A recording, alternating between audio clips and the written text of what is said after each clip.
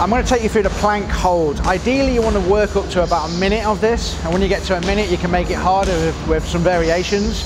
But first of all, what you want to do is put a timer on, time it, see how, you get, how far you get. I usually put the phone underneath me to see how far I'm going to get, maybe 30 seconds to start with. But what you want to be focusing on is getting into the press position, hands nice and nice and wide, shoulders, uh, sorry, hands just over shoulder width apart. You want to be locking your legs out, squeezing your bum, squeezing your core and your belly button to the ceiling and pushing the floor away as hard as you can. Okay, and this is a proper plank hold and you're almost bringing your hands towards your feet as you're doing it and you should really feel your core be nice and tight.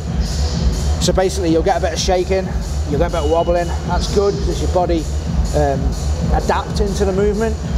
What we don't want to see is you don't want to see a relaxed core and just holding yourself like that.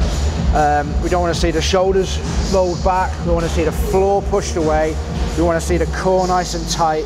We want to see the legs locked out, the bum locked out, and the shoulders pushed down, okay? That's pro a proper plank hold.